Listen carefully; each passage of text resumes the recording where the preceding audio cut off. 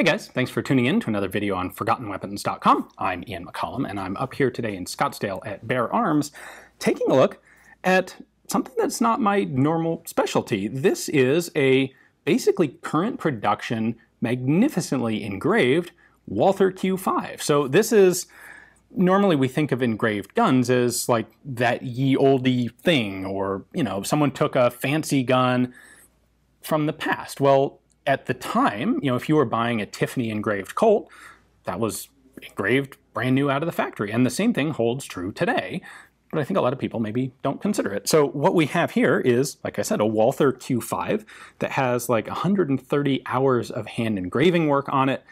And it's really a pretty beautiful gun, as well as being a magnificent competition pistol. So let's take a closer look at it.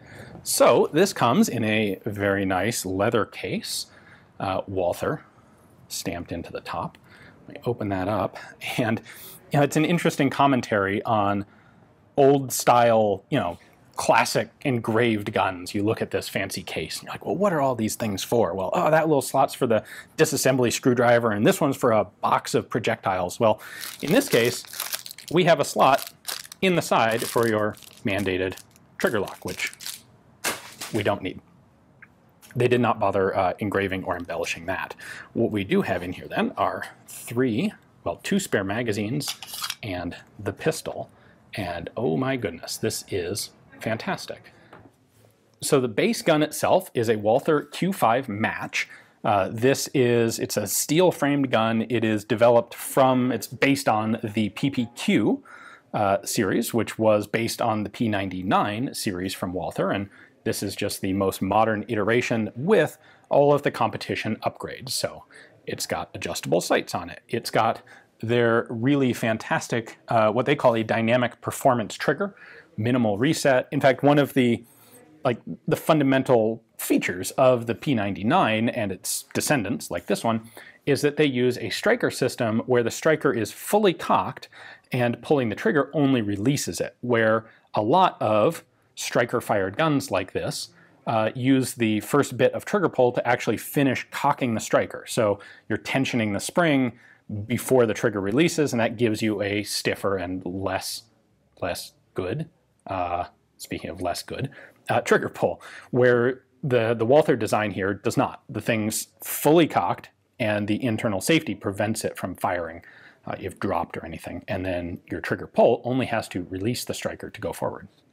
So the engraving on this was done by a company called Bottega Incisioni Giovanelli, which was founded in 1955 uh, just uphill of the Valtrompia, which is in the Gardone area of Italy. This is basically the one valley where you have a whole profusion of Italian firearms companies and companies related to uh, firearms production, like engravers. So the company was formed in 55. The, uh, the engraver who actually did this particular gun was a gentleman by the name of Dario Cortini, who started working for the company uh, when he was 14 years old and worked, has now worked there for 41 years.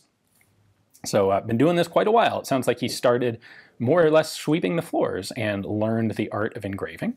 Uh, apparently, the gold inlay elements were uh, were his not so much, doesn't sound like a suggestion so much as his insistence. Like uh, the company, the engraving company, partnered up with Walther, and they apparently get along very well. And they had this project. This is called the Arabesque, by the way.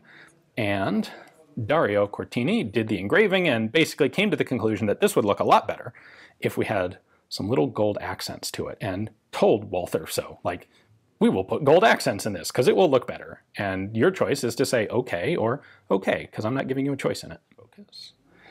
In addition to the gun itself, uh, the magazines all have steel base plates that have been embellished, uh, engraved, and gold accented as well. you get a couple of those. I will admit it's a little jarring to me to get this like super fan the magazine with this super fancy base plate and then just a standard cheap molded plastic magazine loading tool. Uh, you can see that the case is specifically designed for that magazine loader. I suppose the last bit here would be the wooden uh, wraparound grip assembly, which is very nicely checkered, and it's a very nice piece of uh, wood material to start with that I think actually goes really well with this sort of uh, large floral style of engraving. I have to admit, one of the fundamental questions that comes up with this sort of thing is who buys these and for what? So Walther has this as a gun that is fully functional. Like they take great pride in the fact that it's got a really good trigger in it and it has all of the competition style upgrades that they put into the Q5 series. Like this is a fully functional gun.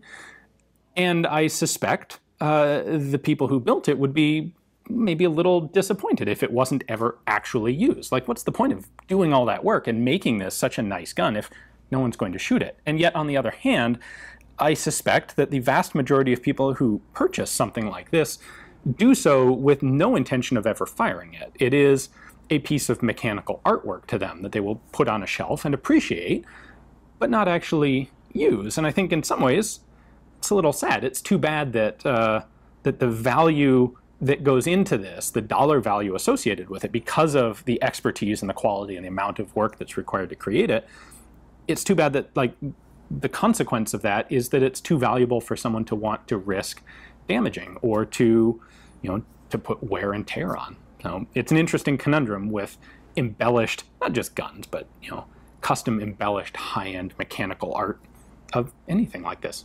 At any rate, it is a beautiful pistol. Uh, at some point, someone is going to buy it and take it home, and I hope that they give it a very nice home. And if it were mine, I wish I could afford to buy a gun like that and then actually shoot it, because I think that's that's uh, what everyone involved in the project would prefer.